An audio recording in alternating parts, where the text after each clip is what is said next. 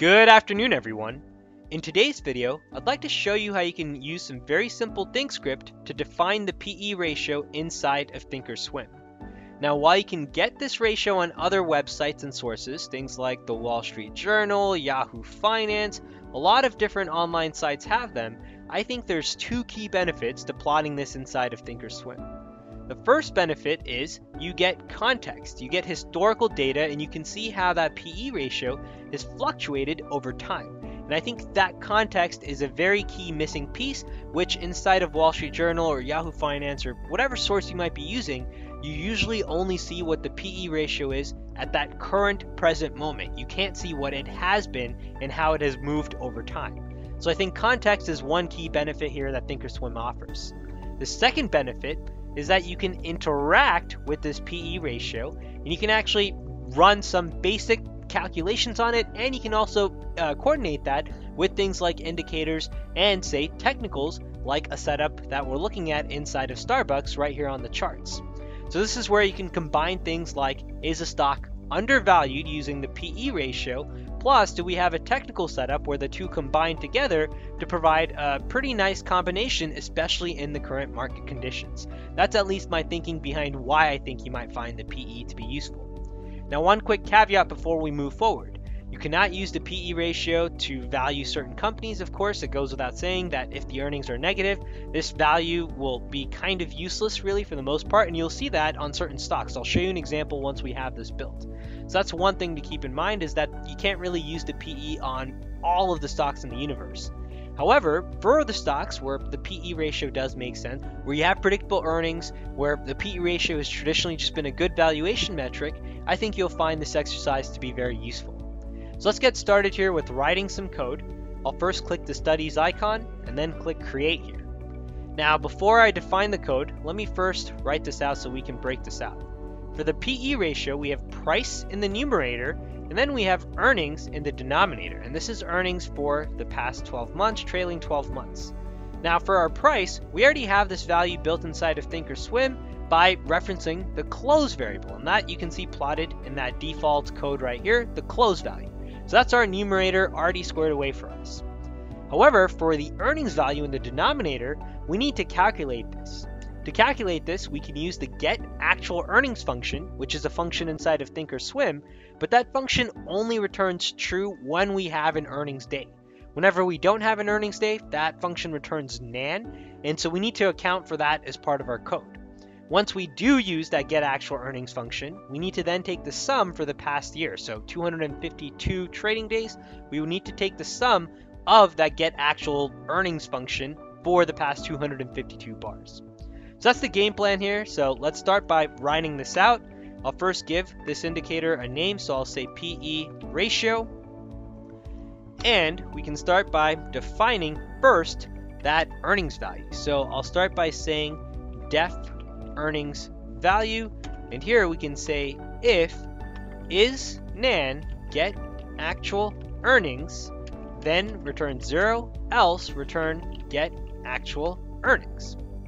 Now let me first show you what this looks like. So if I plot this out here, add chart bubble, uh, and I'll say yes, or actually earnings value, plot this out at the closing price, when or what do we want to see inside of the bubble, earnings value, and then color dot yellow.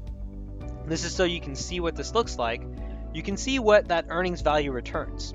We get the same EPS values that we see right down here, 0.32, 0.32, negative 0.46, negative 0.46, 0.51, 0.51, and this bubble only plots whenever we actually have the earnings date. So that's how we've now taken care of the is nan part for whenever there's no earnings value. This has now squared that away. Now we need to take the second part of the earnings portion for the denominator, which is taking the sum of this earnings value over the past 252 days for an earnings TTM. So there I'll say earnings TTM for the trailing 12 months and sum of that same earnings value over the past year, 252 trading days. Let me output this so you can see what that looks like now. I click apply, you'll see earnings TTM, that value holds true all the way throughout the chart. So this value is always true, and this gives you a sum of what your earnings is trailing 12 months leading up to that current juncture. So right now, for example, inside of Starbucks, that earnings TTM value is uh, at 3.32. That's the actual value of that variable. So let's combine that with price now to see what is the PE ratio inside of Starbucks that we see. So I'll say def PE close divided by earnings TTM. T so we have our price and we have the earnings value. Let's output this if I click apply here, what you should see inside of these yellow bubbles is the actual PE ratio of Starbucks. And you can see how that's varied over time. This is part of that context. For example, during March of 2020, that PE ratio went all the way down to the 19s, 19.70. If we take a look at what the PE ratio is currently trading at, it's near 21.6657. So while, say, Starbucks, if I get rid of this study just for a second here, has hit its 1272, pulled back all the way down to its 50% retracement, we're also seeing the PE ratio is getting pretty close to the PE that we had in the March 2020 low. So I think this is where this information becomes useful. It's not just looking at the PE alone, but combining that with technicals to try and find some undervalued places. Now let's come back inside of that code. Let me bring that back in. PE ratio. And let's continue tweaking this some more. So as of right now, we have this value plotting only as a chart bubble. Let me get rid of that since I know that's a little bit annoying. We can turn this to now plot a little bit neater. First thing we can do is declare this to be lower since we'd always like this indicator on the lower pane of our Thinkorswim platform. You'll see that in just a second. And now here we can turn our def for our PE ratio into a plot variable which will now plot as a line. So this is that same historical context of Starbucks.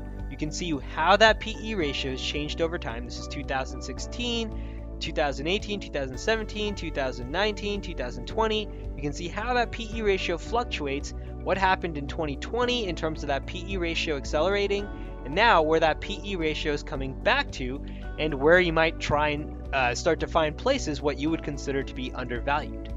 Now let's plot that same PE ratio out as a label as well. If you haven't already seen the label tutorial, I think you'd find that to be useful in understanding how to use and plot labels. I'll go through this one a little quicker. Add label. Uh, we'll plot this label to always be true. We'll say inside of the label PE ratio plus PE, and we'll make this label white. If I click apply, we can now see we have the PE ratio plotting right down here as we would expect, 21.6657. And before we get too carried away, let me show you what Yahoo Finance's value is. Yahoo Finance has a PE ratio of 19.19, Wall Street Journal 19.26, and what we're currently seeing inside of Thinkorswim 21.6657. So while it's close, there is a slight discrepancy there, if you will. However, there is a benefit here in that now that all of this data, the historical data is in Thinkorswim, we can start to compare the same data against what we have here historically. So let me show you what I mean by that. Say you wanted to see what has the lowest PE here been inside of Starbucks over the past 10 years. So coming back in our code here, to define that, I'll say def lowest PE.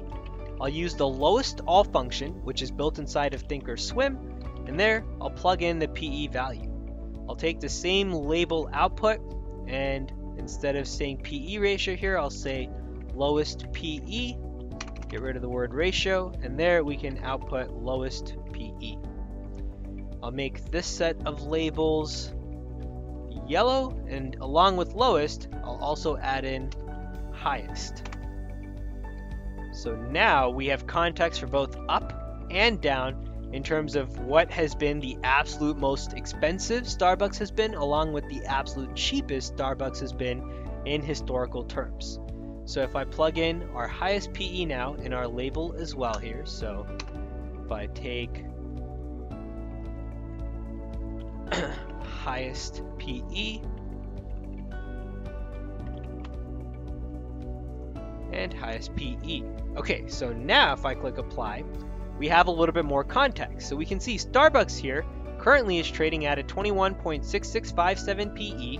The lowest, according to our Thinkorswim calculation, has been 10.7916, and the highest has been 120.755, which you can see happen right here, which was April of 2021. So that was when it was most expensive, and our lowest was a little bit further back historically.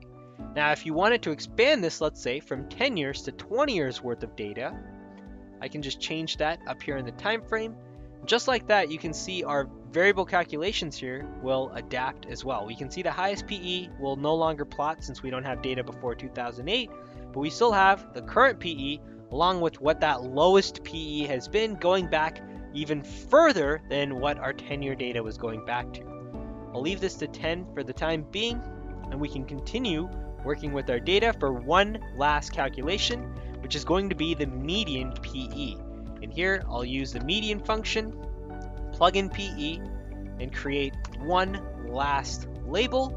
And there we'll say median PE plus median PE, and we can make this one color dot cyan. Or actually, let's try and make this maybe even a little bit smarter. We can say if our PE right now is less than or equal to median PE, then color dot light green, else color dot light red. And that way, at least this label changes colors somewhat dynamically to give you a first inclination of are we in somewhat of a territory of being undervalued. So in this case, Starbucks' current PE ratio is 21.6657. The lowest PE has been 10.7916. The highest PE over the 10 years, 120.755, and our median PE was 21.97, and Starbucks is currently trading under that. Now, if I change this just to make sure there's no bug with that median, maybe we go to something like Costco. Costco currently trading at a 34 PE, the lowest has been 16, uh, the highest 49, and our median 39.95. So currently below the median, but in terms of comparing to the lowest PE, we still have a little bit more to go. So at least this helps in terms of understanding a baseline starting point of what is considered to be undervalued. I hope you found this tutorial to be useful. For those of you that do enjoy data, I think you'd find applying the same calculations on the PE, maybe taking this one step further, applying, say, range calculations, things of that nature, to then try and understand what you consider to be undervalued. Alright, take care everyone, good luck trading, and I'll see you in the next update.